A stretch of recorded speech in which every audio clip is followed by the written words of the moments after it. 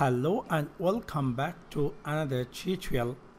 In this tutorial, I am going to share with you how to change auto save time in your Microsoft Word, Excel and PowerPoint document. So let's take a look how to do that.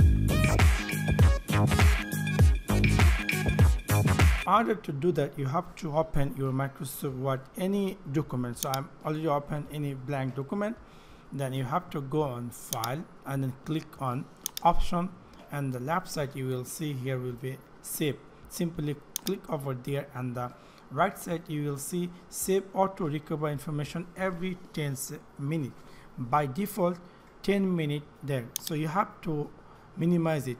I am going to make it one minute and then I'm going to delete the zero. And also make sure that keep last auto saver version of if I close without saving make sure it is checked or not. So it will help you if somehow you didn't save any document it will be stressed in this location.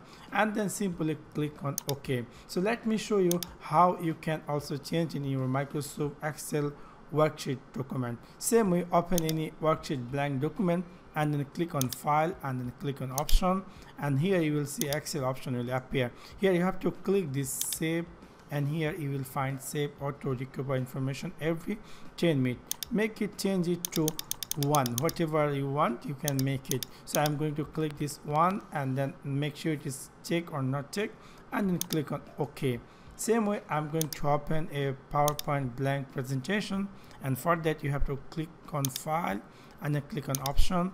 And here you will find PowerPoint option. Simply go on save tab. In here you will see save auto recover information make it uh, whatever minute you would like to set. I would like to set it one minute and keep the last auto save version. Make sure it is checked or not checked and then simply click on ok. So this is how you can change your microsoft office word excel or powerpoint presentation auto save time. So that's for now. Thanks for watching my video. See you next one